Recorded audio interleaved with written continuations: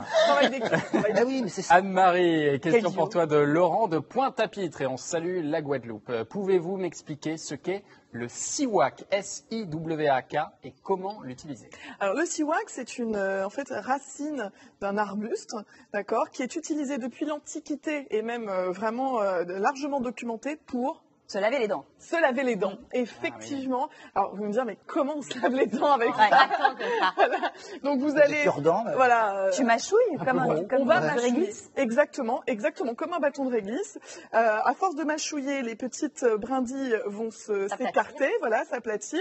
Et rien que le fait de très régulièrement appliquer ce genre de brindilles sur euh, sur les dents participe du, de- du nettoyage retirer. par rapport à la plaque dentaire. Et alors, vous pouvez vous dire, c'est anecdotique, c'est peut-être des C'est comme les euh, os arrongés pour voilà. les chiens. quoi, bien, non pas du tout. Ça a été recommandé par deux fois par l'Organisation mondiale pour la santé, Ouais. l'OMS, qui a donc euh, recommandé l'utilisation du siwak. Donc, il faut un petit peu le faire. mais Ah, bah, sinon, s'il faut le faire si sur les veux dents, aller tu un petit peu plus vite, tu peux retirer la, la partie la plus externe avec un, avec un petit peu C'est de. pas- euh, Ah, avec un bout de bois, quoi. l'impression c'est un bout de bois.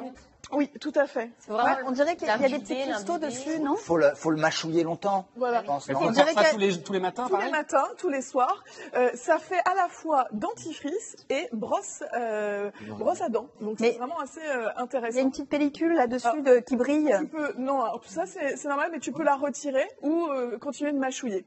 Alors sinon, il y a des dentifrices qui utilisent, Oui, sinon, il y a des euh, dentifrices. voilà, euh, tout fait et ça. Et Ah. Voilà, par exemple, celui-ci, moi je l'utilise vraiment et j'en suis très très contente. Voilà, c'est un dentifrice habituel et Ah, euh, mais Il y a dedans du et il y a dedans de, Ah, voilà. l'extrait avec d'autres extraits de est, plantes.